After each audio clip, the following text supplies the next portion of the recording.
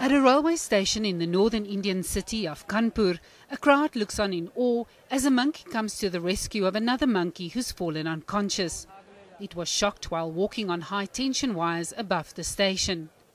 The monkey tries everything to revive it, hitting, biting, and dipping it in water, but nothing seems to work.